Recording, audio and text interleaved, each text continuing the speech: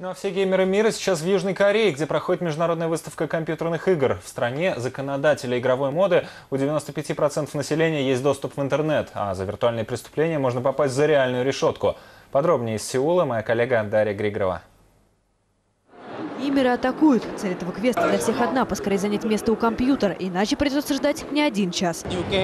Это событие года. Мы с другом прогуливаем школу, хотим посмотреть на новые игры. Я уверен, сегодня вообще мало кто пойдет учиться. Все здесь. Лисун дерется как профессиональный боксер, но это только на экране. В реальной жизни он хоть и мечтал побеждать в драках, но получалось всегда наоборот. Теперь он доволен. Виртуальный противник не сможет разбить ему очки. Я всегда хотел заниматься боксом, но ленился тренироваться, ходить в качалку. А теперь можно прямо дома кулаками махать. Ну а главное, когда тебя бьют, не больно. Эти школьники с горящими глазами толкаются в очереди из-за 15 минут в новой онлайн-игре с почти философским названием «Кровь и душа». Я ждал эту игру три года. Не все из тех, что героически дожидались, смогут зайти. У многих игр, в том числе и Diablo 3, которая пока не появилась в России, висят таблички. Вход только после 16 или даже 18 лет. Возрастных ограничений нет только у игровых автоматов.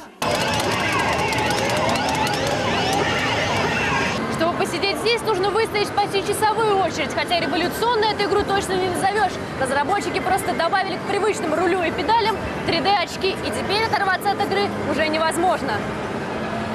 Сумасшедшие эмоции от игры обещают и два вечных конкурента – Sony и Microsoft. У первых светящийся жезл с камерой специальным датчиком, у вторых – игровая приставка, которая распознает движение человека. Я уверена, что через 2-3 года игры будут покупать гораздо больше. Мы надеемся привлечь старшее поколение и тех, у кого нет мании стрелять или убивать. Взрослые дети могут вместе играть, а для нас это новые прибыли. Для Кореи компьютерная выставка – это событие года. Здесь у 95% населения есть не только компьютер, но и доступ в интернет на высокой скорости. Ну а за преступления, совершенные в игре, могут посадить за реальную решетку. Люди просто могут взломать аккаунт, передать ценности с одного персонажа на другой и тем самым нанести большой ущерб. Здесь все отслеживается очень быстро. Здесь есть даже специальные подразделения в полиции, которые занимаются исключительно киберпреступлениями. Компьютерный фанатизм – самая большая проблема для корейских родителей. Дети днями просиживают в компьютерных клубах, которых здесь почти 30 тысяч, и тратят все доступные им деньги на любимых персонажей. Конечно, я вкладываю личные деньги, ведь я хочу собрать полную коллекцию доспехов для моего героя. Приходится платить где-то 200 долларов в месяц, а вот те, кто повзрослее, тратят по несколько тысяч.